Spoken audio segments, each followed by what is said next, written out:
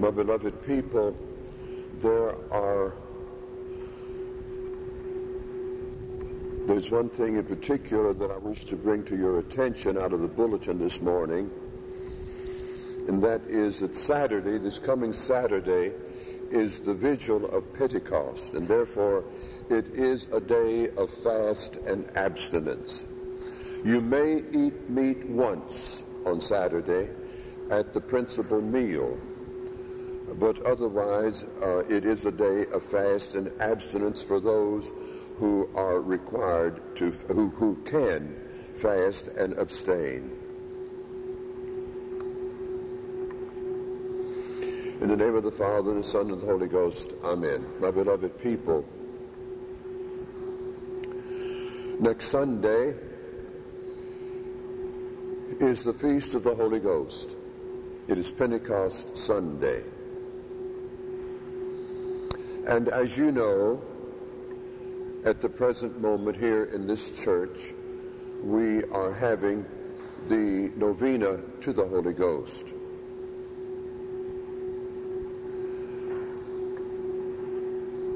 I don't think it would be an exaggeration to say that in all things today, particularly in things concerning religion, in all things today, we have a great confusion. We do not know what to believe anymore. We do not know what not to believe anymore. And everyone around us seems to be standing up and preaching with a sense of power that is akin to dogmatism. Everyone around us seems to be teaching with the strength of one who is infallible.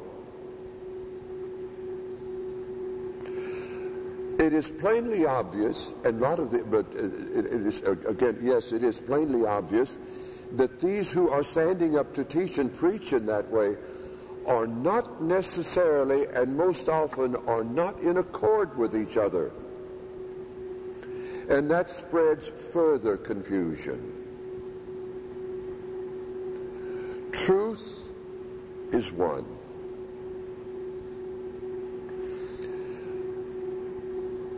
Why is it that in the sciences, mathematics, chemistry, physics, whatever, we are guided by truth and principle. And in mathematics, whichever, wherever we are, if we're building an equation and we do not agree that 2 plus 2 equals 4, when we're putting it in this equation, or when we're putting it in this equation, or when we're putting it in another equation, or whatever we're talking about, that something is not going to work out. All of the steps are correct. Everything we've done is correct. Yet somehow or other, it doesn't come out right. Because this person over here said 2 plus 2 equals 3. Over here he said it equals 5. Over here, he says it equals 10. Truth is one. And even the simple little statement of 2 plus 2 equals 4, in somehow or other, in its own little way, that is leading us to the truth, which is God. In his own little insignificant way, God is one. He always has been one, and he always will be one. But in religion, in the things of religion today, we somehow seem to feel that the way I see it is the way that it is. What I see is not important. What is important is the truth. The Holy Ghost is the Father of truth.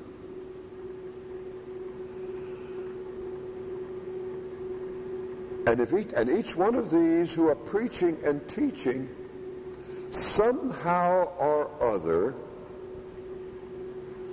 seem to be of the opinion that the Holy Ghost has inspired them to believe what they believe. So we go back, let us to, carry out the parallel. The Holy Ghost told this man over here that 2 plus 2 equals 4. Over here, the same Holy Ghost has told this man that 2 plus 2 equals 6, and so on. If that's the case, the Holy Ghost has to be the Father not of truth, but of lies. Or at least he certainly doesn't know his mathematics.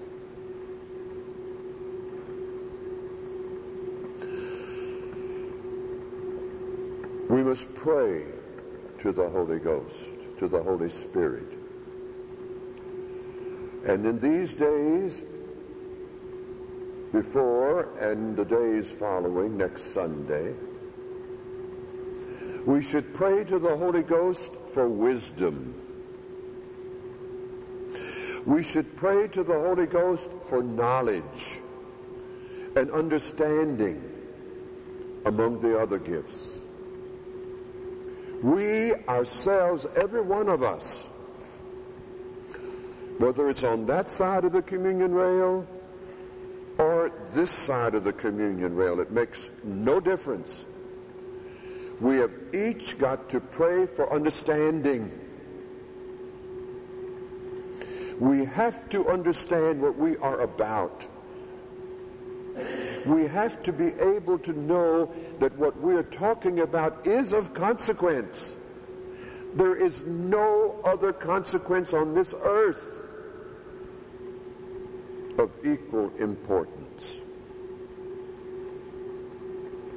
It is of the highest importance that we understand what we are about. We have to pray for wisdom.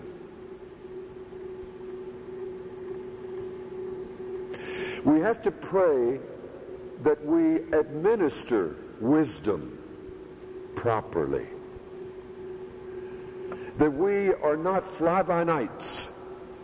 The last thing we've heard is the best thing that we know. And so we are as inconstant as the moon. Remember what we have said in days past? Unless and until the heart, the heart conquers the mind, we shall not know. The mind is only, oh yes, it's built to think, but the mind is not built to feel. The mind merely goes on conviction, but the heart goes on wisdom and understanding and knowledge and piety and so on. We have to under, we have to learn how to apply wisdom in our dealings with everybody. In our dealings with our brothers and sisters, our wives and husbands and children and mothers and fathers, friends at work, wherever, wherever, wherever. And we must also be able to be wise enough to know that we have got to leave some things up to God. Today, man, with all of his technological expertise, if I can use that word, I don't like it,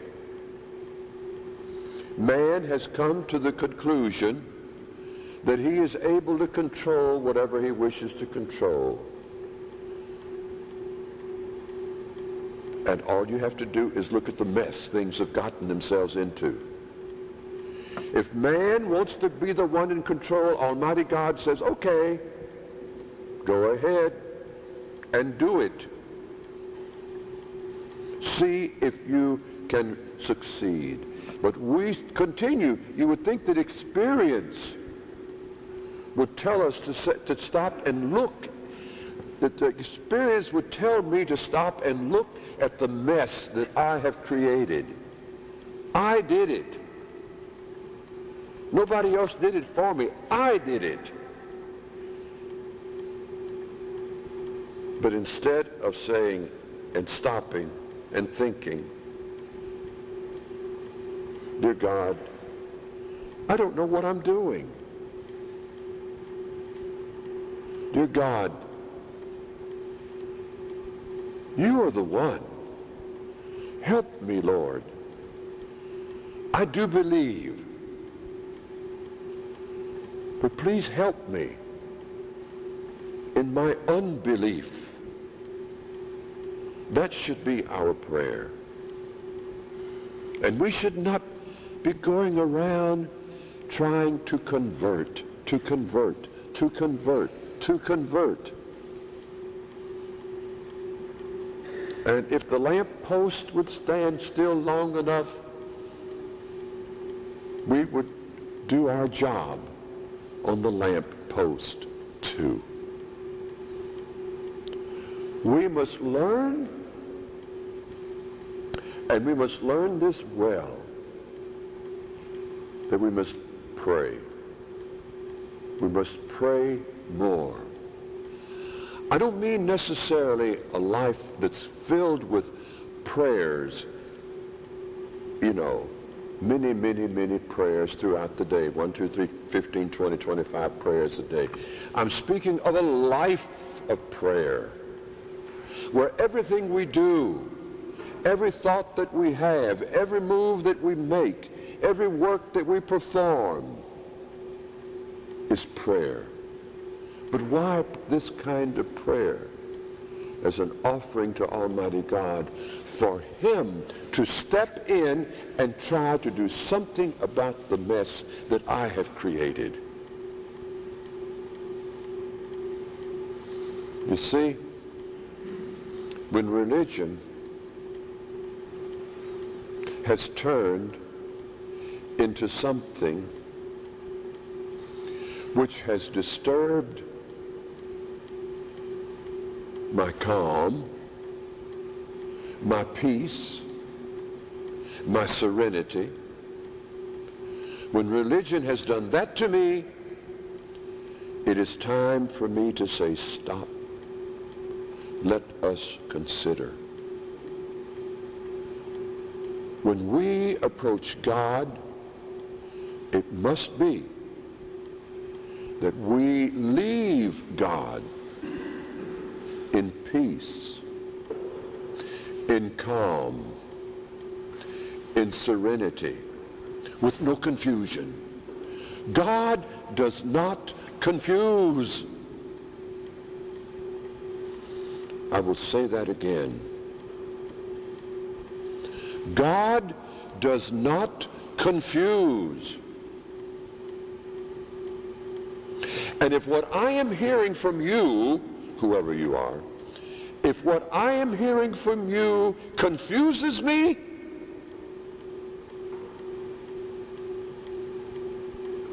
there's something wrong with that. Because if it be of God, if it be truly of God, it will not confuse. It cannot confuse. God is incapable of confusing. That's one thing that God cannot do. In his omnipotence, God cannot confuse. The, the, Father, the Holy Ghost, the Holy Spirit cannot confuse. I am the one that confuses because of my ignorance, because of my pride, because of my self-centeredness, because of my feeling of self-importance. I am the one who is causing all the trouble. My beloved people, during these few days, let us pray with all the vigor that we have got, that God would unscramble, somehow unscramble the confusion of thought which today is so prevalent. You know, you remember when once upon a time there was a flood. And after the flood, man got together and they were going to outsmart God. And so they started building a tower which was going to be so tall that no matter what, how much water came to the earth, they would still be safe. And God came down and saw what they were doing. And what did God do? He gave them the confusion of tongues. Today,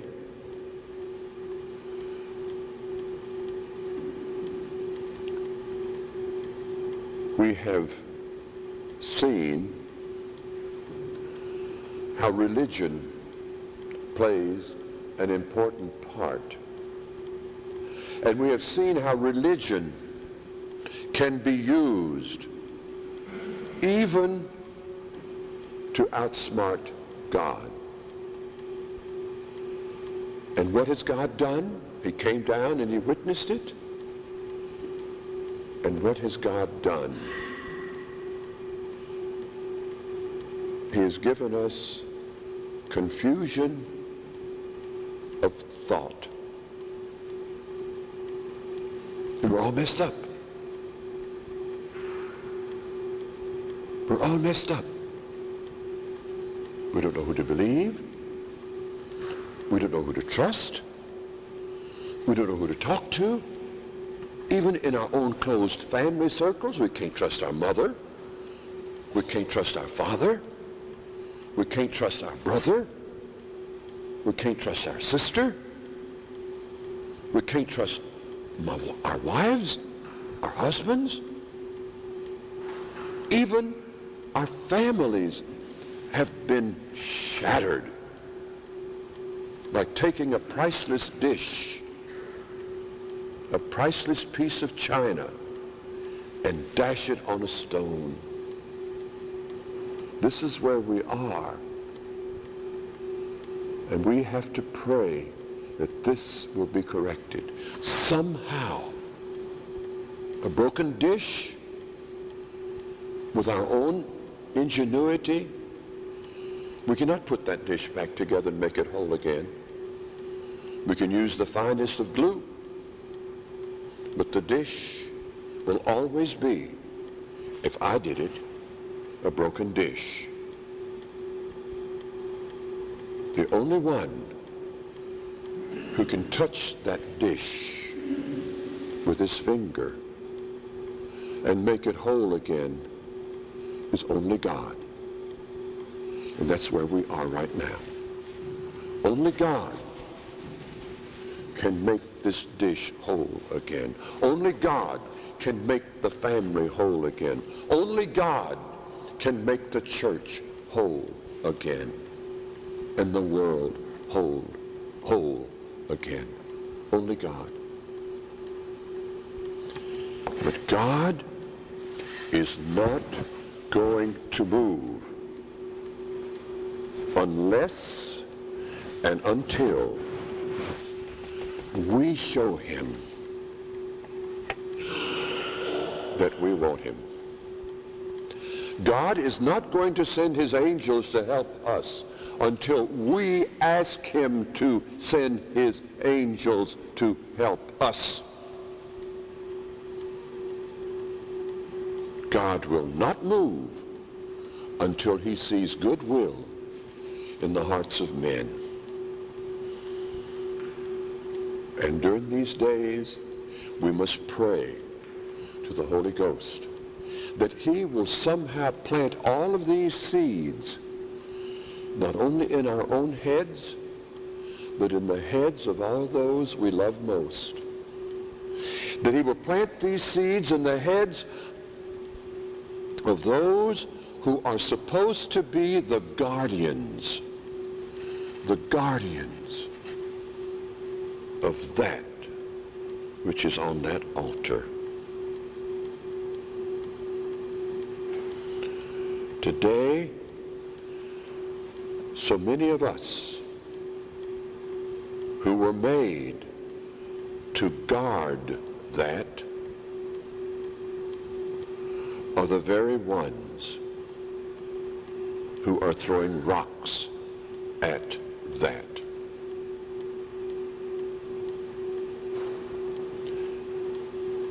And having thrown rocks at it, we have even moved it. We have even removed it. We've put it in the most bizarre places. We ignore it. We don't even think it important enough to throw rocks at anymore.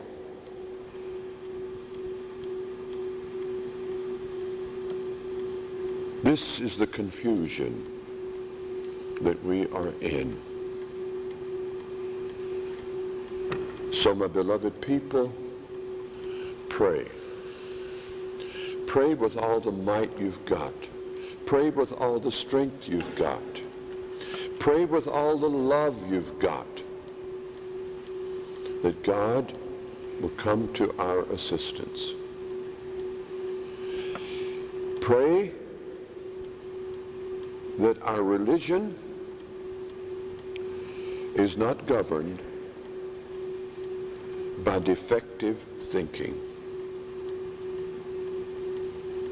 pray that our religion is not governed by defective thinking. Pray that our religion is not governed by defective thinking.